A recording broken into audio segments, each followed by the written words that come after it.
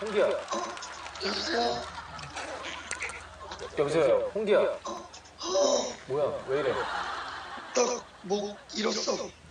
목을 잃었어요? 목소리 잃었어. 어제, 어제 아, 저 그때 공연해 가지고요. 콘서트 있지. 아, 콘서트 해 가지고. 밥은 먹었어요? 야고요.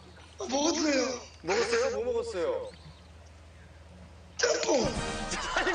뭐가, 뭐가. 짬뽕 이어라고 얘기해야죠. 짬뽕 이어라고 얘기해야죠. 정말 이 목 아픈데도 형의 전화를 받아줘서 너무 고맙고요. 정말 제가 네. 늘 너무 고맙고 사랑해요, 진짜. 갑자기 왜 그러지? 당신 안 고맙냐고요. 사랑해. 아, 사랑해요. 하시고 빨리 끊어요.